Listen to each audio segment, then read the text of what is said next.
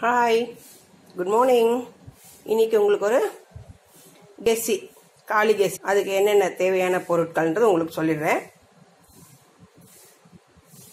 ஒரு ரெண்டு கத்திரிக்காய் இந்த மாதிரி கியூப்ஸ் கியூப்ஸாக பெருசு பெருசாக கட் பண்ணி வச்சுக்கோங்க. ஒரு பொட்டேட்டோ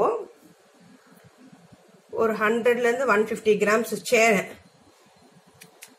சேனைக்கிழங்க அதுவும் இந்த மாதிரி எல்லாமே ஈக்குவல் சைஸில் கட் பண்ணி வச்சுக்கணும். ஒரு முருங்கைக்காய். உருளைக்கிழங்கும் சேனைக்கிழங்கும் ஃபர்ஸ்ட் போட்டுட்டு ஒரு கால் கிளாஸ் தண்ணி விட்டுருக்கேன். இது ஒரு ஒரு விசில் வச்சுட்டு ஆஃப் பண்ணிடணும். கிழங்கு ரெண்டும் ஒரு விசில் வச்சு ஆஃப் பண்ணிட்டேன். சிம்மில் வச்சு தான் ஒரு விசில் வர வச்சேன். இங்கே பாருங்கள் நல்லா வெந்துடுது. இப்போ இதில்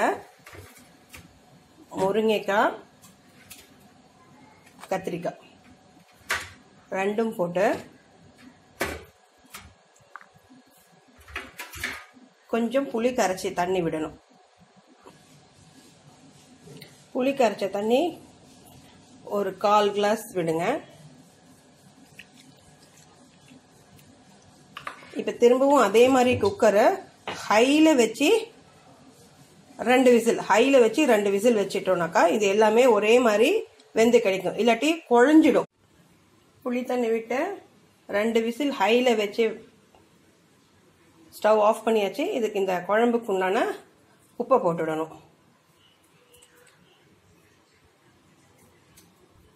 இந்த மசாலா எப்படி பண்ணுறதுன்னு உங்களுக்கு மசாலா கடலை பண்ணுற அந்த ரெசிபியில் சொல்லியிருக்கேன். கொப்பரை தேங்காய் மிளகா தனியா கடைசியாக ஒரு ஸ்பூன் கடுகு போட்டு வறுத்து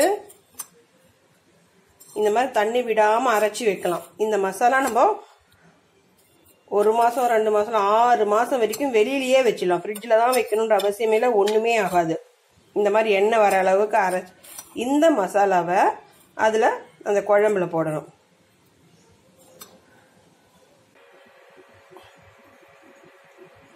இந்த மசாலாவை இதில் போட்டு கொஞ்சம் தண்ணி விட்டு நல்லா மிக்ஸ் பண்ணணும்.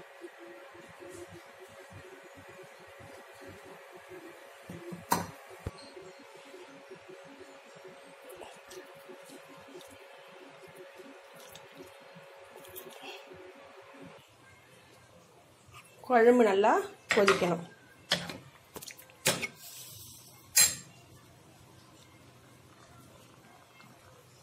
கருவேப்பிலையை அப்படி போட்டுட்டு கிள்ளி போட்டுட்டு நல்லா மிக்ஸ் பண்ணி விட்டுட்டு வேண்டிய அளவு தண்ணி விட்டுடணும். ஏன்னா இந்த மசாலா வந்து திக்கனிங் தான் கொடுக்கும். நம்மளோட குழம்பு பதத்துக்கு தண்ணி விட்டுக்கணும்.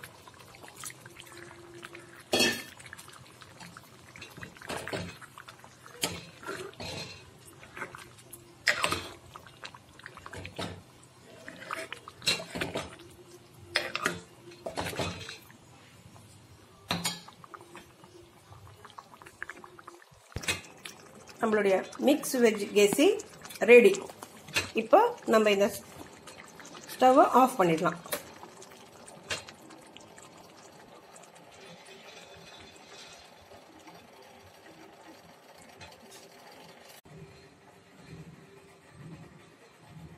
இதை எல்லாரும் ட்ரை பண்ணி பார்த்து டேஸ்ட் பண்ணி பிடிச்சிருந்தா லைக் பட்டனை ப்ரெஸ் பண்ணுங்க. ஃப்ரெண்ட்ஸுக்கெல்லாம் ஷேர் பண்ணுங்க. சப்ஸ்கிரைப் பண்ணாதவங்க சப்ஸ்கிரைப் பண்ணுங்க. மறக்காம அந்த பெல் பட்டனை ப்ரெஸ் பண்ணுங்க. தேங்க்யூ